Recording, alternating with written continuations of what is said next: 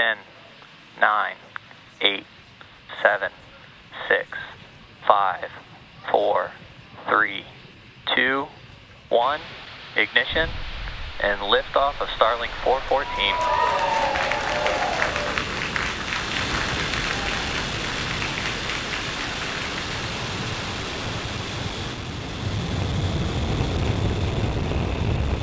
Vehicles pitching downrange. M1D chamber pressure is nominal.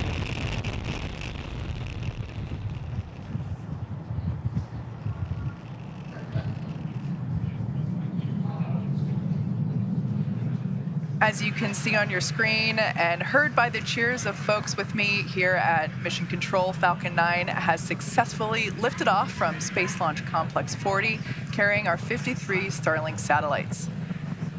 Although at liftoff, gravity Power is pulling straight down on the rocket, as we ascend, we actually tilt the engines. The technical term for that is gimbaling for all my rocket nerds out there.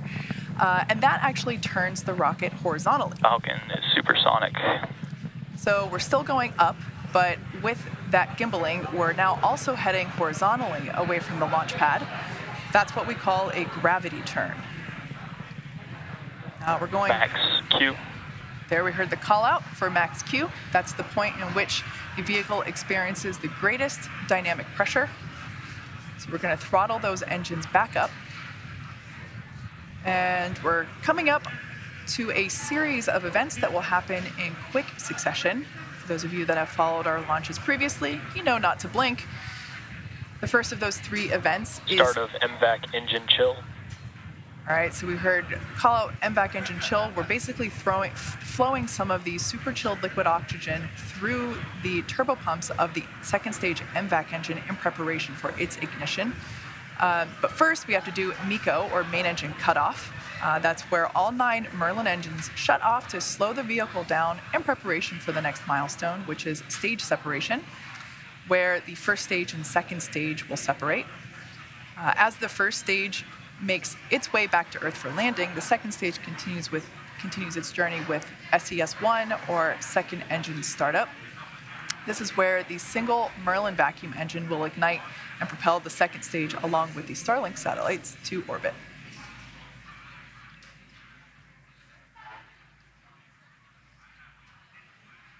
A view there inside our interstage. Main engine cutoff. Stage separation confirmed.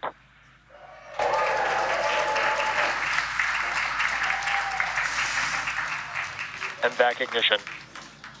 All right, so all three of those events in quick succession.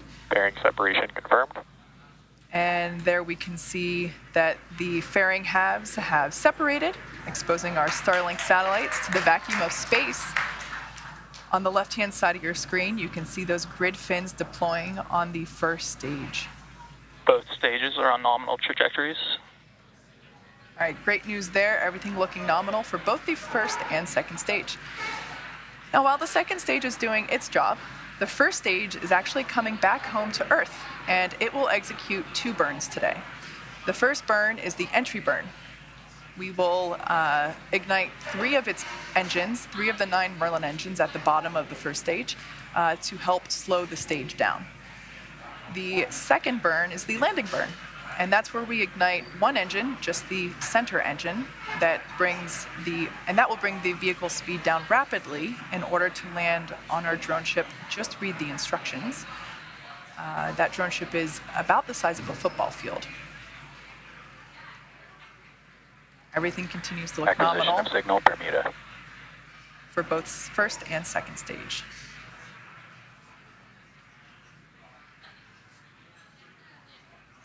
Beautiful shot of the second stage MVAC engine there on the right-hand side of your screen. With the beautiful blue marble rotating slowly behind it. Now that first stage, as you can see, is um, positioning, beginning to uh, basically float its way back to Earth. It's, it's currently uh, above the Earth's atmosphere. In order to help it make its way back through the Earth's atmosphere, we're going to perform a reentry burn. Not currently visible from that view. Um, we have landing legs stowed on the side of the booster. Falcon 9 is equipped with four landing legs made of carbon fiber aluminum honeycomb. They're placed symmetrically uh, at the base of the rocket and stowed during ascent, and they will deploy just prior to landing. As we come up to the entry burn, a reminder this is a three engine burn meant to slow the first stage as it hits the thicker layers of the Earth's atmosphere. As you can see, Falcon 9 has grid fins on it. It's equipped with four hypersonic grid fins. They're positioned near the top of the first stage and near the base of the interstage. So basically where those two pieces of hardware connect.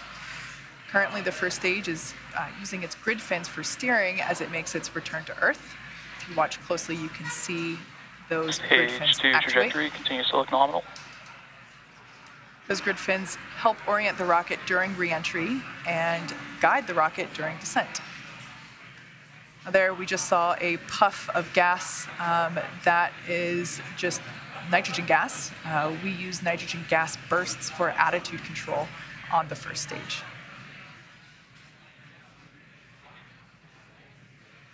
Stage 1 entry burn startup. So we can see the first stage has Stage 1 FTS is safed. begun its entry burn.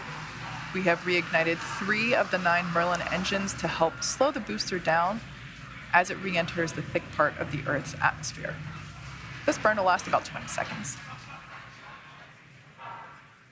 Everything continues to look nominal for second stage. We can see that that entry burn has concluded for first stage.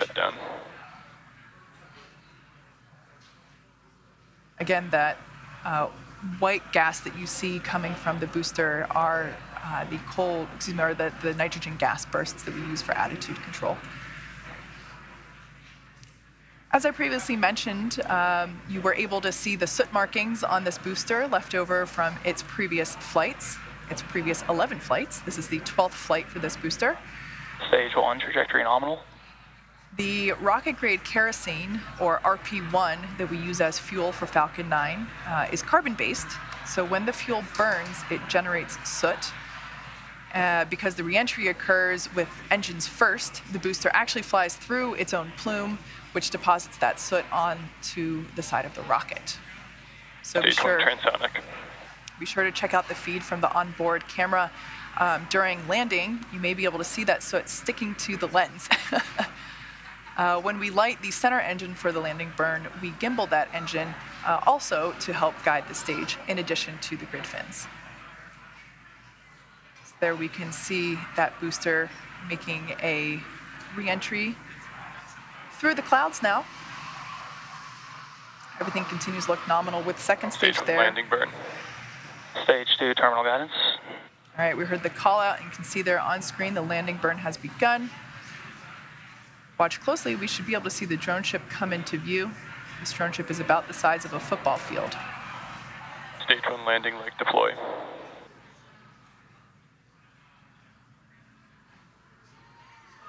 As you can see, this booster has touched down once again. This is the 12th recovery for this particular booster. Stage 2 FTS is safed. This recovery also marks the 115th recovery of a first stage booster. Gorgeous shot of that booster on our drone ship. Just read the instructions. Up next will be second engine cutoff, Second engine cutoff. which we Expected saw just signal. there. Cape.